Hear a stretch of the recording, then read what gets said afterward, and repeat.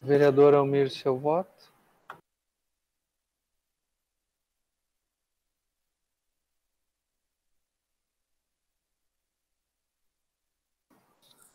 Projeto aprovado e a comissão de redação final.